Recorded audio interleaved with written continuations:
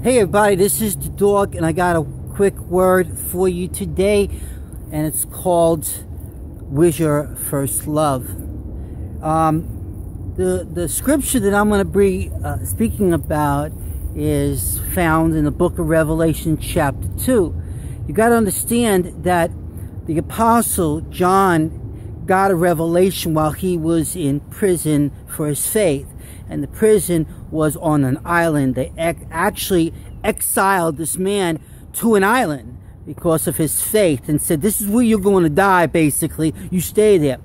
Well, while John was on this island, he got a revelation. That's where the book of Revelation comes from. And it's, you know, it opens up with, you know, the glories of God. And then Jesus appears to John and says, I got a word for seven different churches.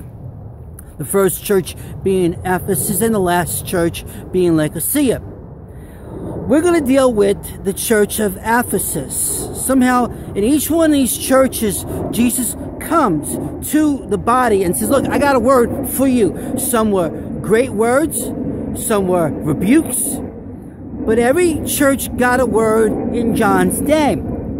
Other people look at that and say, well, you know what? That's great. Is it just for the church as, as a body in John's day, no, the word is also aimed to us today because if we actually open up the Bible and then allow the Bible to uh, minister to us, it's for the now. It's for here and the now. So with that said, I just want to highlight on one verse of scripture. Jesus is looking at the body of Christ and says, Neither of us, I have one thing against you basically you lost your first love. And Jesus actually is trying to encourage the body, the church, to get back on board and love him the way they were when they first met Jesus.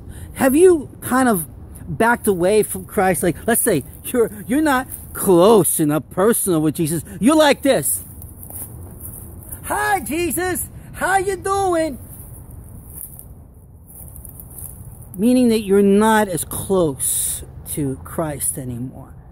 And what Christ is trying to tell you as an individual is like, you're losing your first love. You used to be so close to me. You used to talk to me every day. You used to read the Bible every day. You, you were faithful going to church and you were living it. And because of life's problems, you started to drift slowly and slowly and slowly away because of one problem hitting you, boom. Another problem hitting you, boom. Another problem hitting you, boom. And suddenly you find yourself not close anymore with Jesus, but further and further away. What was the first loves? Well, when you first become a Christian, this is what happens you get excited about Christ and you start telling people, hey man, I, started going to a church and I met this great man. His name is Jesus. He died on the cross. And all of a sudden you're testifying about him. And all of a sudden you found out that you had to be in the Word of God. Man, you got to read that Bible, you know, from, from Genesis to the book of Revelation. Oh man, you had nose was in that book. You were doing word studies and, and, and finding out what that Greek word meant, that Hebrew word meant. You were going into commentaries. Oh, I got to find all this stuff out. And also, you were always in prayer. You were even going up to people and saying, Can I pray with you? And all of a sudden, they were like looking at you. Yeah, okay. So, anyway, but, but things happen. And Jesus is like saying, Look, I want you to re return to your first love. Will you do that? Will you return to your first love? Will you go back to praying and reading that Bible like you once did? Or are you going to just stay as far back? And then eventually the current of problems takes you even further back. And you know what happens? Jesus says, if you don't return to your first love, I'm going to take my candle away from you. That light that's in you is like, it's going to be gone. Because you're not close to Jesus anymore. Now, am I bringing a, a word of condemnation? No, I'm not. I'm trying to bring, bring a word of encouragement. The love, the word love, is agape. Means God's love kind of through you. If the Spirit of God is in you, then you have you should have the agape love, which means a, a love that sacrifices beyond even to your own hurt, to your own uh, pearl. That's the kind of love God had for us, the agape love. And He's like saying, hey, you lost that agape love. Now you, you just got this kind of, eh. You're doing works, I see it, but it's all for show. It's it's not not really I'm not in it. So today, I want to encourage you.